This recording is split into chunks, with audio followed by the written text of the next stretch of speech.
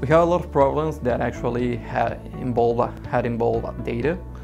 And to improve the models and many of the things we do on daily basis in the work, the data will be like the key feature to unlock those problems. Yeah, I took a course in some of online platforms, but actually the, the course of the bootcamp, you actually get the really feeling of working on something, not just you alone with a cup of coffee. I did like the experience of doing my homework. One of the things you do is when you get out of the bootcamp, you just try to apply everything and having the, the real feel of doing it, that part in your own and then coming back and asking the questions to the teachers or the instructors is really helpful and I think it really improves your skills. I think for a working professional will be better just because you really can like link the problems to the skills you're getting here and you will probably get more experience or data about what you're really doing. Yeah, after a couple of days here, I will say that I would probably go back and apply to